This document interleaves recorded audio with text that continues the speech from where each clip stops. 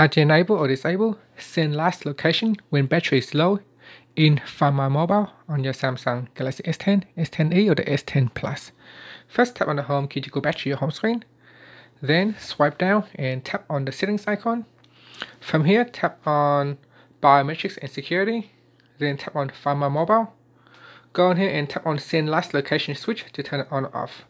Now to turn it on we need to uh, uh, put in the password so I'm just going to put in the password.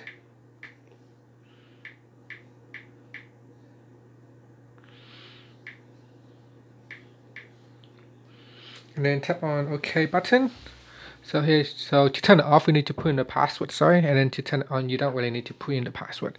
And that's it. So whenever your uh, phone fall below a battery, um, uh, your battery falls below a certain level, your phone will automatically send the last location of where about it is, and that's it. So um, um uh, if you lost your phone, uh, at least you can uh, find out where it is. And finally, you can tap on the home key to go back to your home screen. Thank you for watching this video. Please subscribe to my channel for more videos.